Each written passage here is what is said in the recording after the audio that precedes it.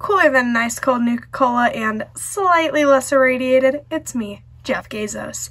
And joining us today, though he'll try to convince you that you're better off listening to a Freeside Junkie, is my lovely lizard friend, Arcade Gannon, who is exploring.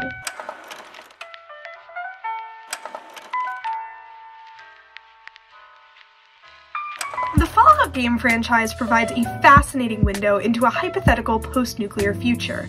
It addresses questions of how humanity begins to rebuild after the world as we know it is destroyed. It shows the inevitability of conflict, the dire consequences of the folly of man, the desperate scramble for resources when all that's on your mind is survival, the search for belonging, and unity. Unity? The selfish decisions we make when our lives are on the line. Fallout does an amazing job of describing the human condition. Each game's wide cast of characters and companions provides the player with a series of narratives about what it is like to live in their world. Even in times of conflict and desperation, we are still human. We still laugh, we still cry, we still seek love, friendship, and family. I'd imagine everyone has at least one Fallout character they relate to, whose story resonates with them, even though our world is so different from theirs. I could compliment Fallout's writers forever on the complex, exciting characters they've created. And I would, if that's what this video was about. Instead, I want to provide a critique on something I've noticed the fandom at large doesn't seem to be talking much about, and something the writers don't seem to be delivering on to the level at which they could. I want to talk about Fallout's problem with disability representation. The number of canonically disabled characters in Fallout is abysmally small. A Google search for disabled characters in Fallout gives you a few Reddit threads of people asking about disabled characters within the universe, an article about the wheelchair item added to Fallout 76, and that's kind of it. The first disabled character who comes to mind is Proctor Ingram from Fallout 4. She and Joshua Graham are the only Fallout characters I've noticed who are visibly disabled. First and foremost, I really want to praise the writer, parentheses S writers, who created her. I think Ingram is a great character. She's got a great personality. She's a smart, no-nonsense woman who cares about the Brotherhood and the work she's doing for them. You get a glimpse of the person behind the Proctor when you read about her sharing suites with Proctor Teagan, and Knight Captain Cade making excuses to get her to spend time with him.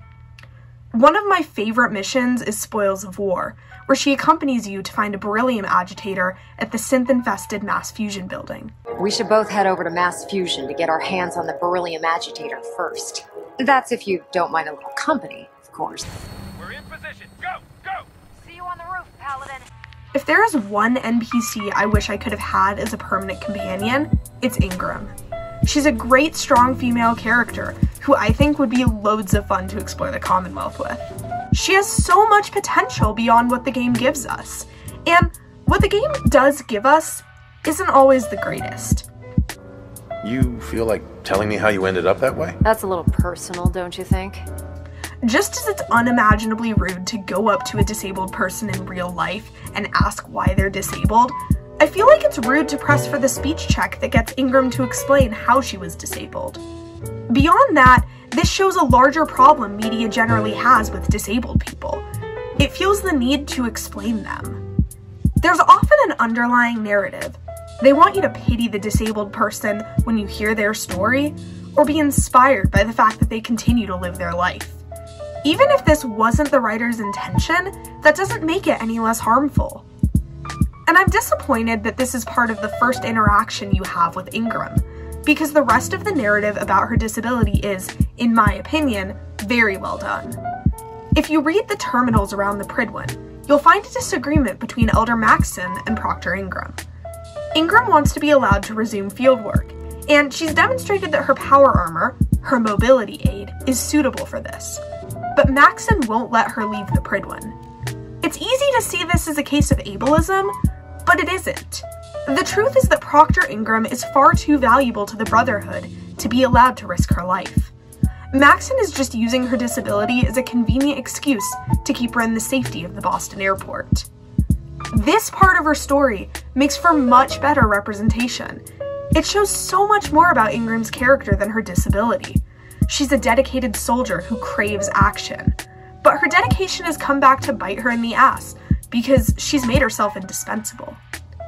Disability is a fact of Ingram's character, but it isn't her character. This is the kind of measured take on representation I'd like to see more of. Fallout falls short with its other disabled characters, to the point that with some of them, I don't even know if they can be counted as representation at all. Ranger Ghost is meant to be a person with albinism. Side note, I've been using the Fallout wiki for reference as I write my script, and I really don't like the language they use around disability. Afflicted with albinism, bound to her power armor frame. It's 2022, and I think it's time to update the terminology. Anyway, albinism is recognized as a visual disability that causes blindness.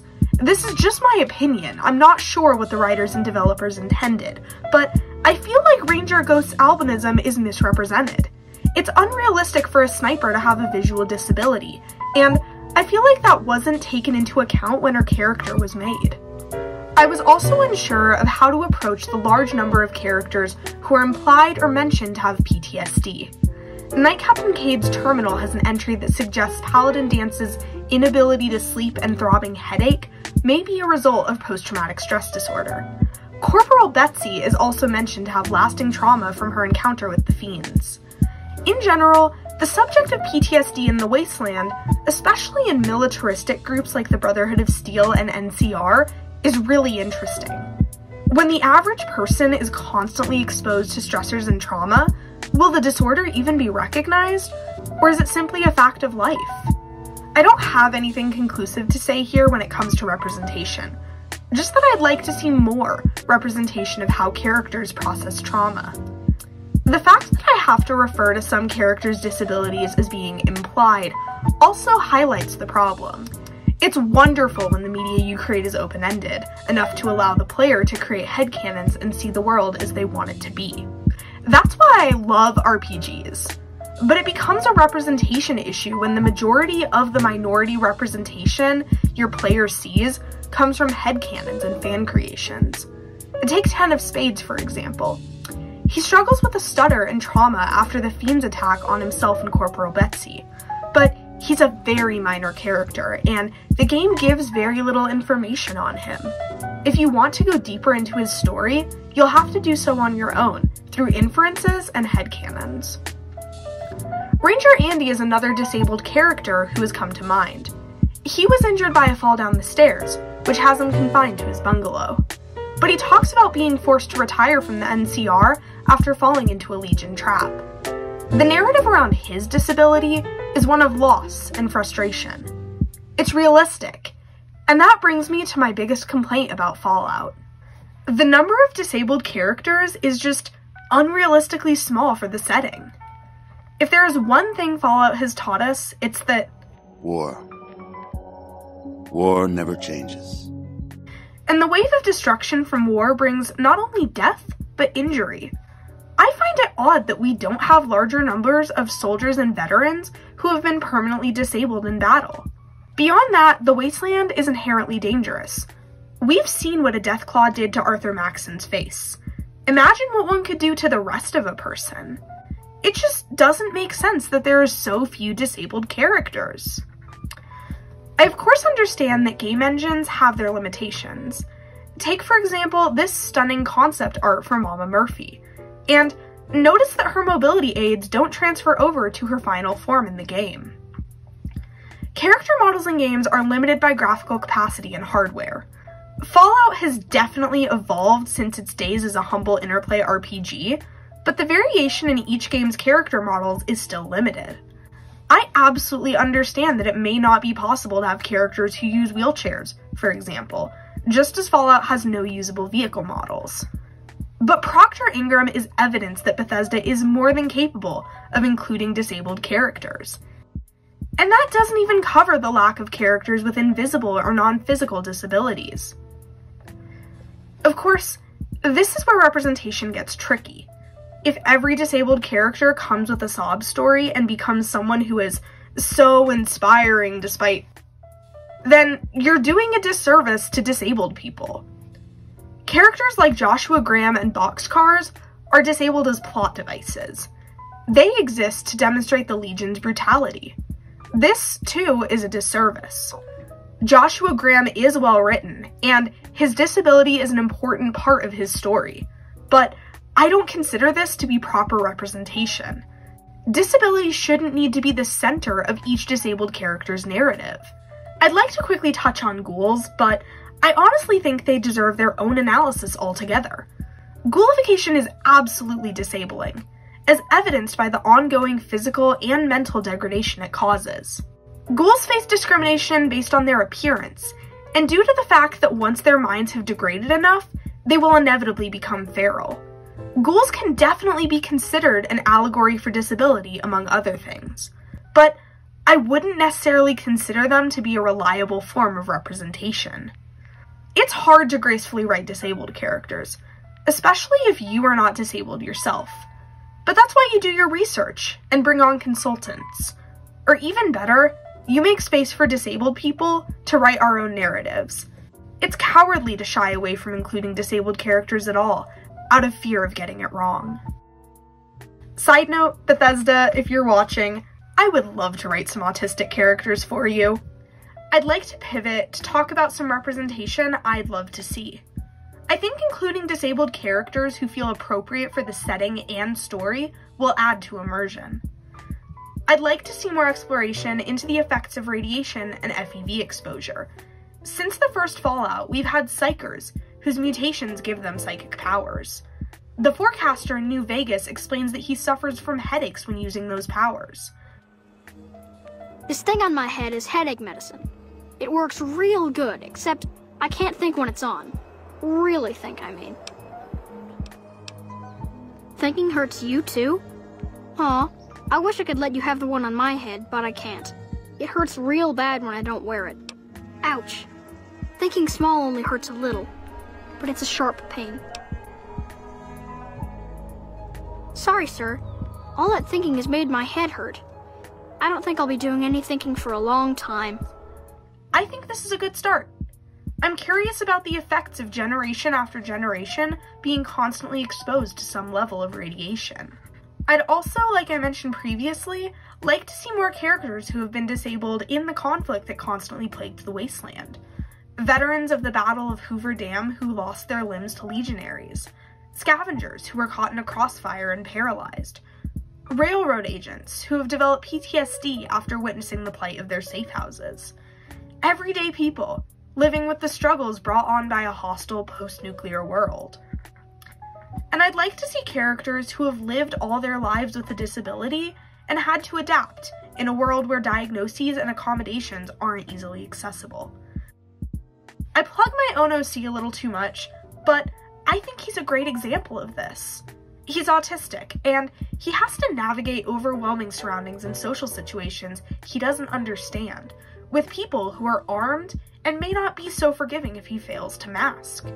But he understands robots in a way few others do. The people around him underestimate him because he fails at first impressions and social norms, but when he joins the Brotherhood as a scribe, he's able to dedicate himself to the things he loves and generate valuable research and knowledge. I'd love for Bethesda to explore disability more with their characters. I think the best way to do it would be with a companion, someone who opens up as they gain your trust. It's a great way to steer away from the temptation to be nosy and ask about someone's disability the minute you meet them, and to be sensitive to how personal disability can be. New Vegas did an amazing job of portraying queer characters because it didn't build their personalities from their queerness. Rather, these identities were treated as what they were identities. One of the many facets of the character's larger personality. I think the best way to approach disability is the same.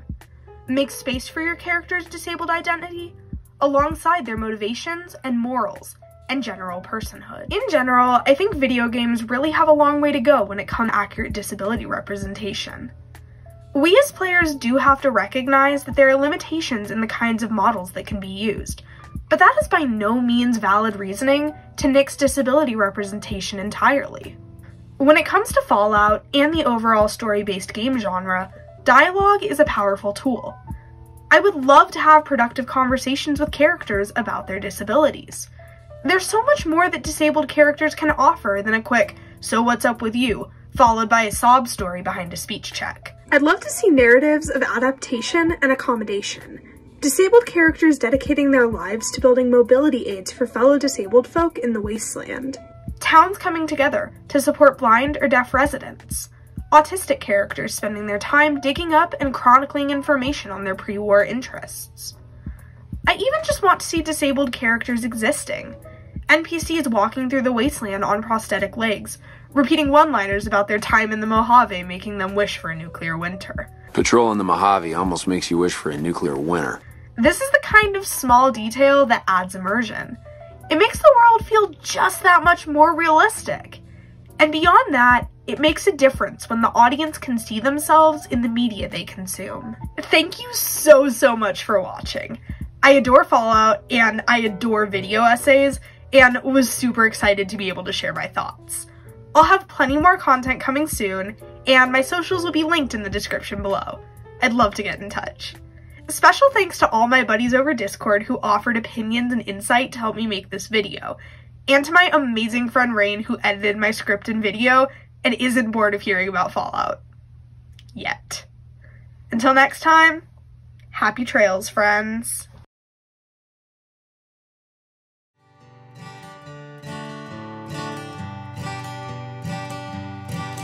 This wasteland they say you are going. We will miss your bright eyes and sweet smile. For they say. Patrolling the Mojave almost makes you wish for a nuclear winter. Patrolling the Mojave almost makes you wish for a nuclear winter.